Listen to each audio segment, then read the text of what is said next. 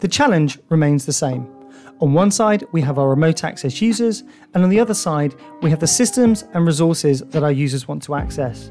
Traditionally, this would have been achieved through using a firewall and remote access software installed on every user's machine and asset.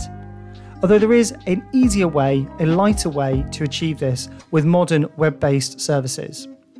Harmony Connect allows users to consume a management interface in the cloud, a SaaS platform, and integrate users to their applications. Users will have access to a web interface showing only the resources that they have permissions to access. We integrate with lots of multi factor authentication mechanisms to ensure that the system's access is very safe and controlled. We also have inside the Harmony Connect system a gateway that will provide a data connection between the users and the applications they want to use, no matter if the data center they're accessing is in the cloud, is on premise, or even at home. This is achieved by deploying a small connector. This is a container, and in this example, we're going to be showing this working inside a Linux system running Docker. This connector provides a tunnel back to the Harmony Connect SASE platform, and then from the connector that is hosted inside the data center over to the systems and resources that we want to access.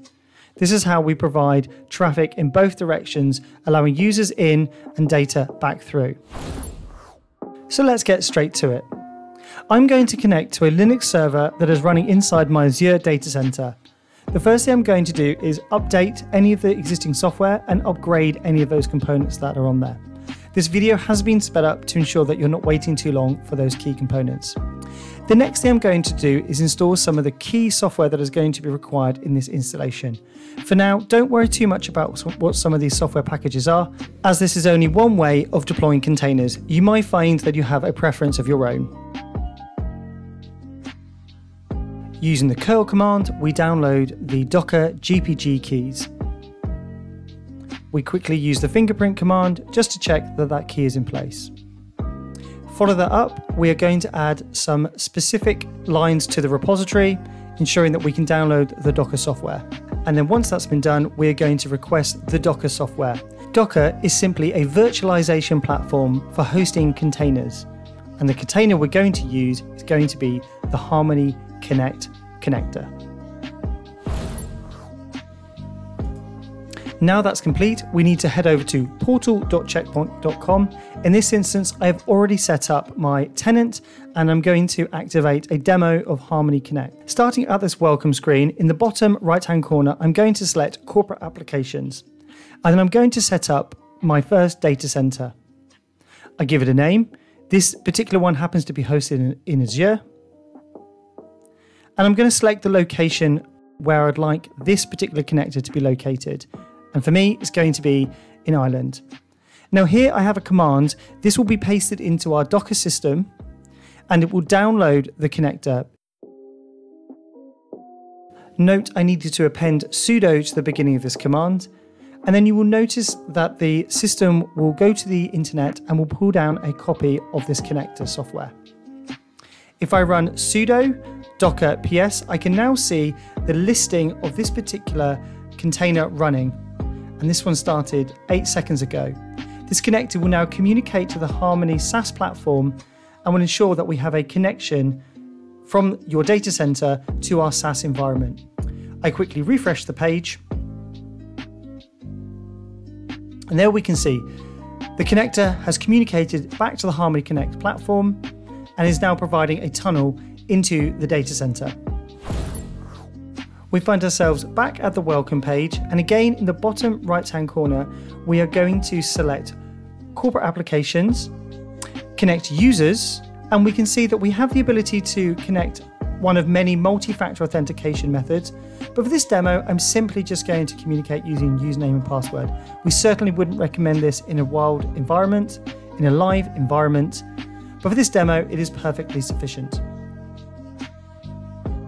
Click OK, and an email will be sent to my email inbox. You can see here I've been given an automatically generated password. Just quickly copy that, and then above we're going to confirm my account. I'll confirm my email address, my temporary password, and will be quickly asked to generate a new password. Once that has been done, I have successfully registered as a user on the Harmony Connect portal. Once logged in, you will see at the moment it is currently blank. And that is because we have not deployed any applications to the system. And that is the next stage of this demo. Again, back at the welcome page, we're going to define our first corporate application. Click on the plus, and we're going to choose the first application to deploy. I'm going to connect RDP, a remote desktop, using an in-browser RDP client I'm going to give this a quick name. This is a Windows 10 machine. I'm going to select the data center that this is listed in. That's the one we set up just a moment ago and give it the IP address of my system. I can choose either transparent or managed. Transparent means that the user, every time they log in, will be, be expected to present the system credentialed, whereas managed will ensure that the Harmony Connect platform stores a copy of the backend server's username and password, ensuring that the user's experience is seamless and they have no need to type in any additional information. So here I am typing in the username and password for that Windows 10 server. I have to do a couple more things. First one is to provide access to the correct user groups. In this instance, it is going to be the administrators group. I head over to policy, application access, and we can now see that that is the first application that has been deployed. I need to quickly manage the objects, come into the user administration, and then add myself to the administrators group.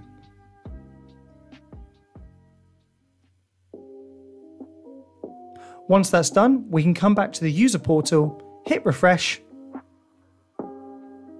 and there, I have my first application ready to access. I click this, and this will take me to an RDP session, a Windows desktop that is hosted inside of my Azure data center, all wrapped inside this easy to use browser. So, what other options do we have in terms of applications?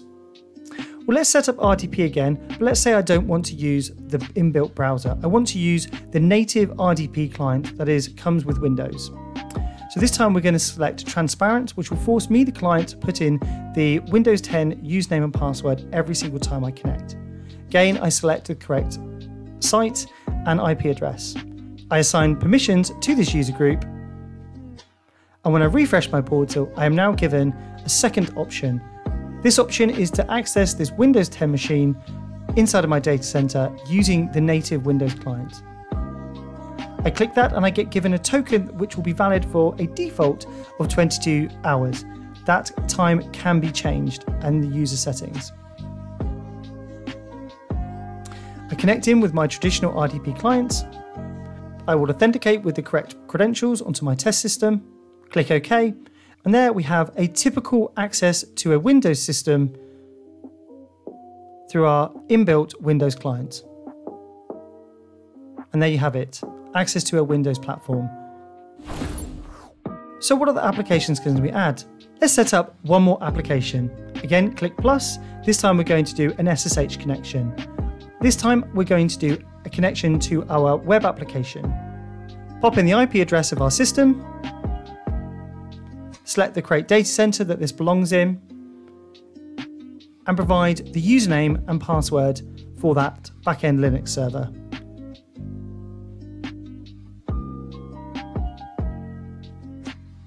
Assign the correct user permissions, go to the user portal, hit refresh, and again we will see a third application has been deployed and given access to our users. There are two credential options that can be used. We can generate a one-time password or if the user has generated a client-side certificate key, you can use that as well. In this instance, we're going to use the SSH client PuTTY and we're going to use this to connect into our system. We copy the host from the bottom section of credentials here this will point our SSH session to the Checkpoint Harmony Connect platform, which will be used as a tunneling proxy to access the services inside of the Azure data center.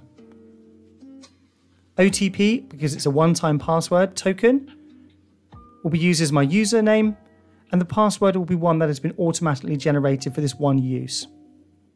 Once that's pasted and entered in the system, I will be tunneled through the Harmony Connect platform and into my data center and have direct access to my SSH Linux server that runs in the backend.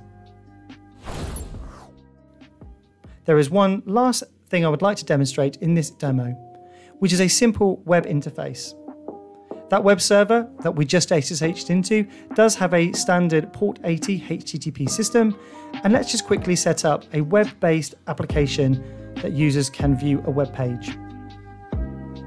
Click Edit Permissions, give the user's credentials as always, click Refresh, and we are, we are given our fourth application.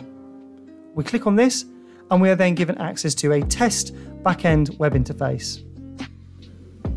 In this demonstration, we have set up our Linux environment, we've installed Docker, and then we have installed the Harmony Connect connector. If you already had a Docker environment, it would usually take somewhere between 10 to 15 minutes to connect into the Harmony portal, set up your tenant, enable the Harmony Connect demo, deploy a connector, and start deploying applications to your users.